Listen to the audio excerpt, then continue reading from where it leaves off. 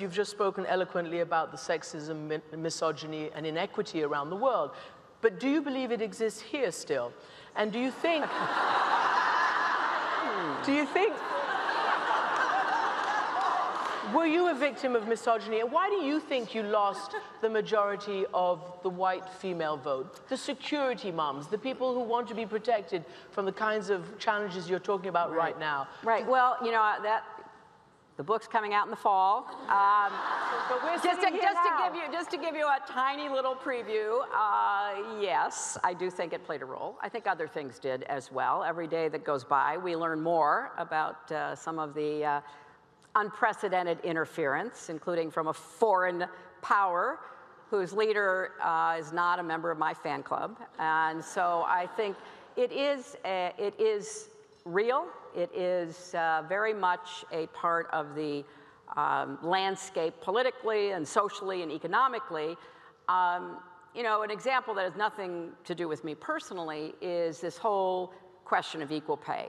You know, we just had Equal Pay Day in April, which is how long women have to work past the first of the year to make the equivalent of what men make the prior year in comparable uh, professions. And we know it's a problem in our country. It's not something that exists somewhere far away, it exists right here. And it's really troubling to me that we are still grappling with how to deal in a an economy uh, to uh, ensure that people who do the work that is expected of them get paid fairly and equally. So, yes, there are many, many uh, representations of that, many kinds of uh, examples of that.